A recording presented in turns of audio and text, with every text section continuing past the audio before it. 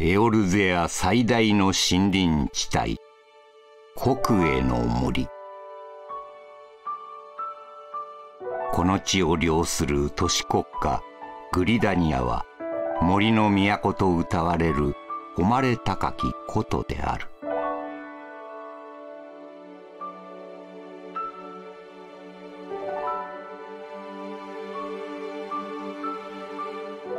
巨大な木造建築物と無数の水車によって形成された街並みは国営の森の木に抱かれ守られているという。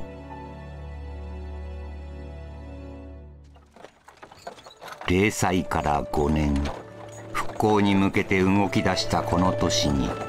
今一人の冒険者が訪れようとしている。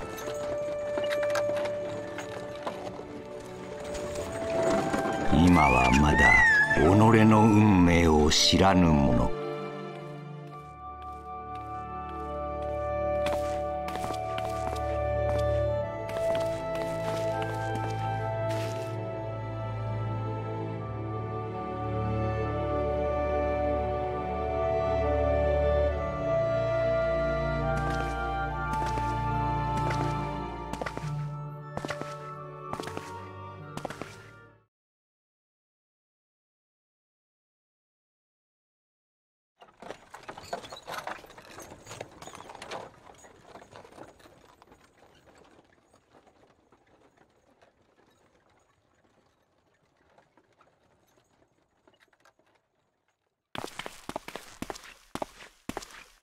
神々に愛されし地エオルゼアの歴史に名を残す者